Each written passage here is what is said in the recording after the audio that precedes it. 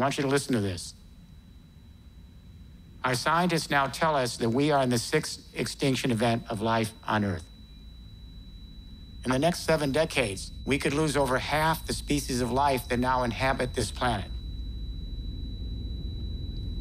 I'm going to tell you, we are really, really scared. So, what do we do?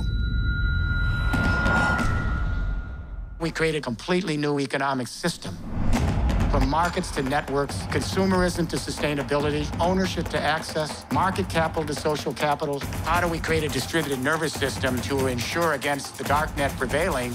None of this is being taught in the schools, by the way.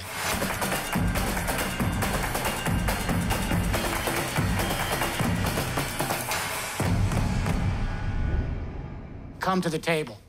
Make it happen.